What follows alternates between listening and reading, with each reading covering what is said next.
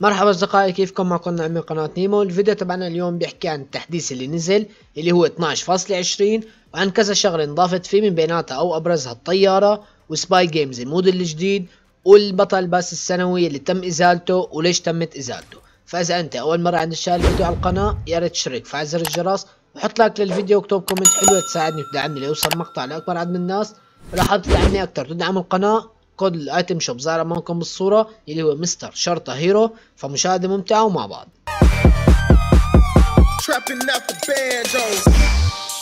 أول شيء أصدقائي خلينا نبلش بال locker. ال locker مثل ما ظاهر أمامكم تم تغييره تغيير جذري كامل. مثل ما شايفين تم إضافة ميزة الجديدة اللي هي ال loadout اللي ظاهرة أمامكم. إنك أنت بتقدر تفوت تكبس هاي الكبسة اللي هون على الشمال على ال skin وبتحط plus أو زائد وبتعمل مجموعة جديدة. بتنقي من خلالها كل شيء بتنقي الرقصات بتنقي لون الأسلحة بتنقي ال glider تبعك. كل شيء بتنقيه بتختاره بيقدر تغيره بكبسة زر. مثل ما أنتم شايفين أنا عامل كذا مجموعة. اللي هي المجموعة هي والمجموعة ال IQ وال Black Ninja. يعني كذا شغلة كل عليك إنك أنت بتكبس عليها. شايفين تعدل كل شيء ميزة كتير حلوة بتسهل عليك الوقت. لو أنت حابب تغير أي skin كان بلحظة واحدة بتكبس عليه وبتغير. كتير الموضوع حلو وسهل.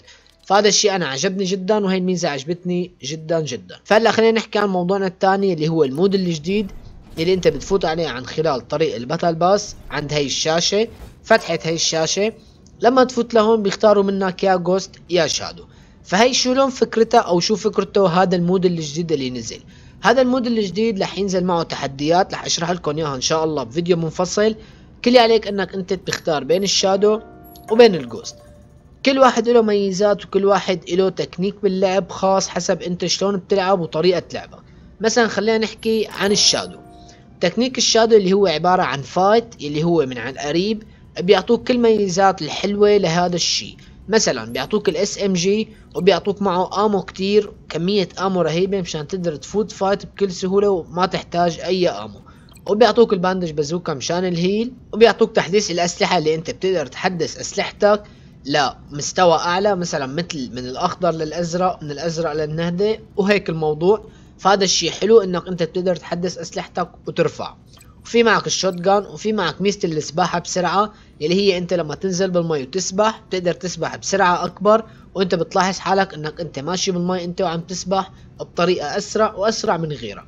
وفي هذا ال SMG تبع الخلط كتير حلو هذا ال SMG وفي معك ال shield drop اللي هي ال shield drop قصدي اللي هي shield دائما بيكون معك أو shield بيعطيك اياه فترة مؤقتة كل ما ينقص أو هيك شيء أنا بدي اجرب كنت ال mode يا ريت أقدر أجرب ال mode بس مثل ما أنتم بتعرفوا اليوم وقعت السيرفرات ما بعرف شو صار باللعبة ما عم يرضى يفوتني ولا على أي game لا أقدر أجرب ال mode.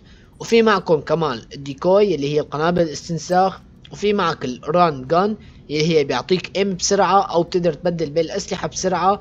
اللي هي هي حلوة كثير هي الميزة لو كانت إنك أنت ال aim تبعك بيكون أسرع لما أنت تعمل hip fire أو تزويم على العدو وفي معك هذا ال SMG في ال bandage bazooka وال shotgun ال heavy هذا كتير حلو.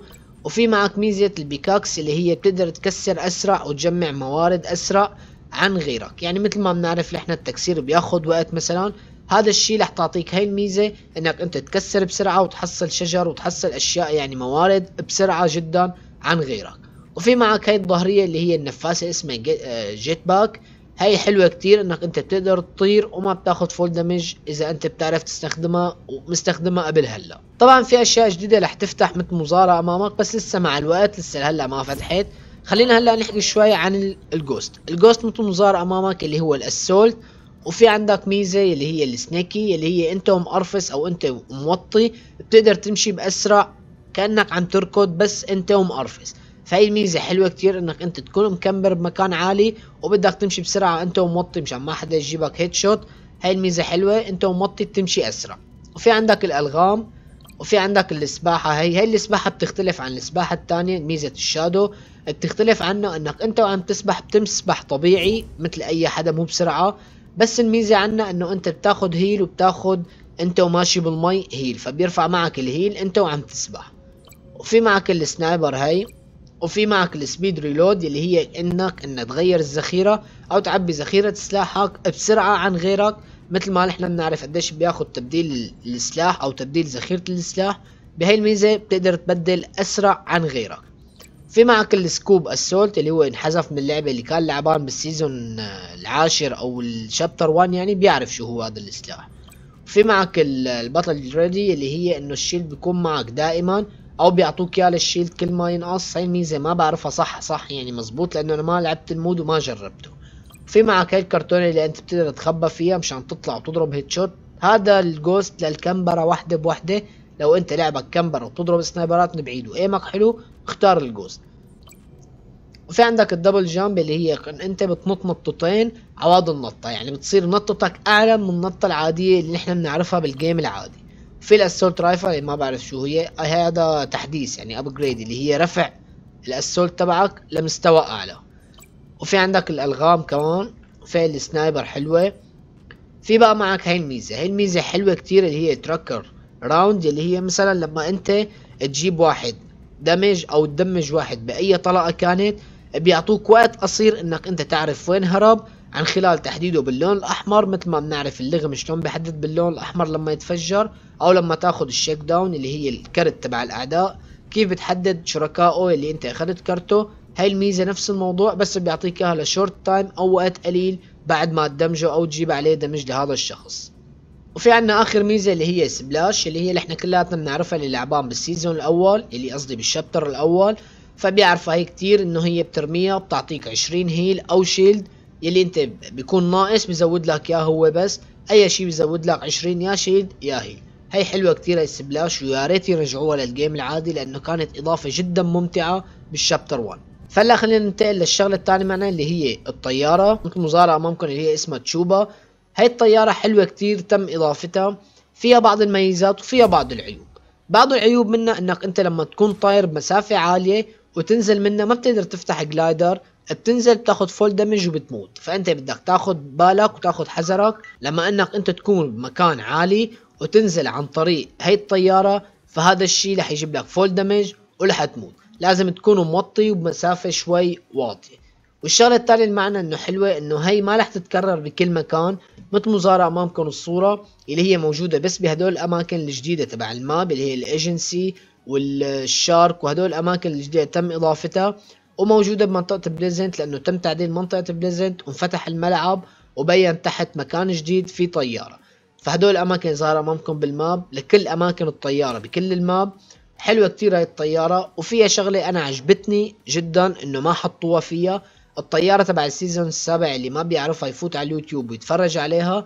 كانت بتضرب وكان يعني كانت خرافية يعني كانت تدمر مباني وتجيب وكتير كانت overpower فهي عملوها إنك أنت ما بتقدر تكسر فيها عن طريق الصواريخ أو الرشاش ما فيها هذا الشيء. كل اللي هي وسيلة تنقل فقط لا غير يعني ما فيها شيء. وكمان ال heal تبعها أو ال damage تبعها لحتى تتكسر على الآخر 1500 بتستحمل ضرر لحتى 1500 فبس هي كانت كل الطيارة اللي معنا الطيارة حلوة جدا. وفي معلومة لما أنت لما تكسرها ما عاد ترجع تنزل موجودة بهدول الاماكن فقط خلص موجودين. يلي بيتدمروا خلص ما عاد يرجعوا بيخلصوا الطيارات بكل ال map. تقريبا هن شي سبعة أو ثمانية بكل ال map. متى ما تكسروا خلص ما عاد في غيرهم. وتم تسريب غرفة القط اللي هو سكان القط اللي ظاهر أمامكم بالصورة اللي هي بتفوتها عن طريق هون اللي هي رح تفتح إن شاء الله بعد يوم و16 ساعة عندي. مثل ما ظهر أمامكم بالفيديو هاي هي غرفة القط لما تفوت لجوا ورح أترككم معه تشوفوا الفيديو.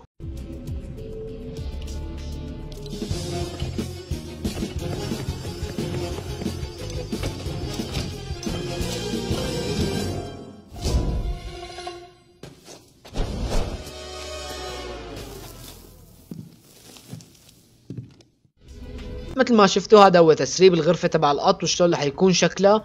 شاء الله رح يفتحوا التحديات تبع الأسبوع الخامس. وأنا إن شاء الله دغري رح اشرحهم فتأكد إنك أنت مشترك بالقناة وفعل زر الجرس. لو حابب تشوف التحديات كاملة أول ما تنزل أو تسريب عنا إن شاء الله رح ننزل عنا تسريب يوم الأربعاء بالليل. خلينا نحكي هلا عن السكنات اللي تم تسريبها. أهم السكنات طبعا. في سكنات تم تسريبها أنا موجودة عندي بالقناة كمان لو حابب تشوف كل شيء تسرب. خلينا نحكي عن ثلاث أشياء جديدة تم تسريبها. أول شيء خلينا نبلش بال skin الأهم واحد معنا اللي هو skin ال rapper المشهور ترافيس سكوت اللي ظاهر أمامكم بالصورة. هذا الرابر تم تسريب له skin حكى عنه من زمان بس ما نزل. هلأ بين بهذا التحديث مثل ما ظاهر أمامكم بالصورة هيك رح يكون شكل ال skin تبعه. أنا ما حبيته يعني مدري ليش ما حلو ال skin فمو حلو أنا بالنسبة لي بس هذا هو شكل ال skin رح ينزل. رح ينزل قريبا إن شاء الله بال item shop بس مو معروف إمتى. أو شو رح يعملوا فيه كمان إضافات. هذا هو شكل ال skin اللي متوقع يكون نزل بالتسريبات وهلا في معنا كمان skin Oro اللي كلياتنا حكينا عليه بداية ال season هاد وإنه رح يكون هذا ملك الذهب أو ميداس يعني. فمثل ما امامكم بالصورة تم تسريب له لون جديد اللي هو لون الأبيض والأحمر. متوقع ينزل له ثلاث ستايلات خاصين بهذا ال skin اللي هو الذهبي والأبيض والأحمر. وفي واحد تاني بس لحد الآن مو معروف كيف رح يكون شكله أو شو هو. وفي الحزمة الجديدة كمان اللي رح تنزل معنا اللي هي حزمة Slurp أو حزمة Slurpy يعني مثل ما ظهر امامكم بالصورة هاي الحزمة رح تتألف من ثلاث سكنات كل skin منهم لهم style خاص بس ال skin الثالث مو معروف شو هو style ه الخاص يعني أنا شايفه شبهه بس من قايم شعرتين ثلاثة من فوق يعني. فهذا هو الحزمة اللي رح تنزل إن شاء الله رح يكون سعرها تتراوح من 15 دولار ل 25 دولار ثلاث سكنات وثلاث ستايلات خاصين فيها. اللي رح يكون اسمها تقريبا Slurp أو Slurpy يعني اللي هي تقريبا مشتقة من Slurpy اللي هي منطقة Slurpy. فهذا هو الحزمة اللي رح تنزل معنا إن شاء الله والمتوقع تنزيلها. وفي تحديات كمان بدي أقول لكم عليها اللي هي Spy Games اللي ظاهرة أمامكم رح أشرح لكم إياهم في فيديو منفصل إن شاء الله بكرة يوم الأربعاء. وفي كمان بالتسريبات تبع هذا التحديث إنه تم فك أو تم العثور على ملفات لهدول الثلاث أشياء اللي ظاهرة أمامكم بالصورة اللي هي القنبلة وال splash اللي هو ال splash نزل معنا ب mode Spy Games. وإن شاء الله في الشغلة الثالثة اللي هي ال shield bubble اللي هي عبارة عن فقاعة اللي بتذكر زمان كان في هيك شيء اللي هي بترميها بتعطيك shield أو درع حواليك وبتقعد جواتها وما بتاخذ damage لحتى فترة معينة بينشال هذا الدرع اللي هو اسمه ال shield bubbles. فهذا هدول ثلاث أشياء اللي تم كشف عنا بالملفات اللي ممكن ترجع أو ممكن تكون ل mode Spy Games لحد الآن مو معروف بس تم فتحهم بالتسريبات تبع هاي اللعبة. ونحكي شوي عن الباتل باس السنوي. الباتل باس السنوي اللي هو كان متوقع ينزل مثل ما أمامكم بالفيديو اللي هو عبارة عن ثلاث skinات ومعاهم ظهريات ومعهم كذا قصة. هذا الباتل باس السنوي كان المفروض ينزل وينزل معه هدول الاشياء إنك أنت تشتريه بمصاري وتعمل مهمات وتاخذ هذا الباتل باس وتاخذ هدول ال skinات.